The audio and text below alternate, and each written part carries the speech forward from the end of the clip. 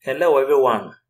To download and install Blender, first open up your browser and visit Blender's own website.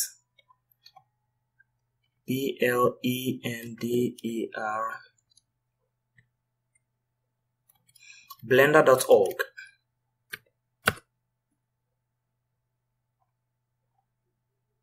Then click on this big blue button with download Blender 2.7 and written in it. After clicking on it, this page loads. Blender's website automatically detected that my, my system is running Windows and a 64 bit. So they gave me the download link for my 64 bit installer of Blender software.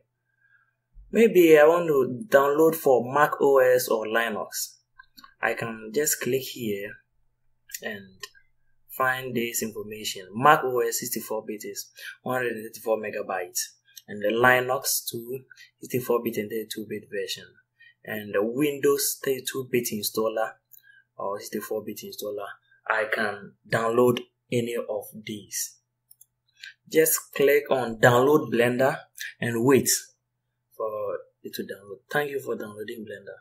Soon the download will start 83.8 megabytes. Just click on save file. You're done. When the download is completed, come to where you saved those files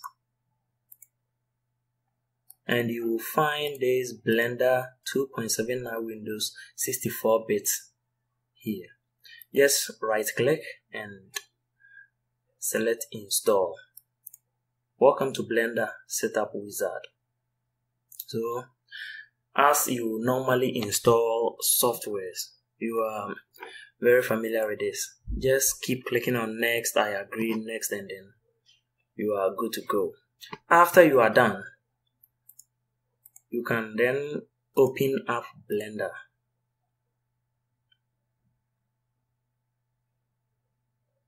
Here is Blender 2.79, the current version as of the time I'm recording this uh, tutorial. So, we've downloaded and installed Blender. Where do we go next or what do we do next after just downloading and installing? Well, I'll be I'll be teaching you, I'll be demonstrating how to create things uh, with Blender. I'll be introducing Blender to you. The user interface, the tabs, everything. In addition, I'll be teaching you how to um, use Blender to create uh, nice looking glasses like this one.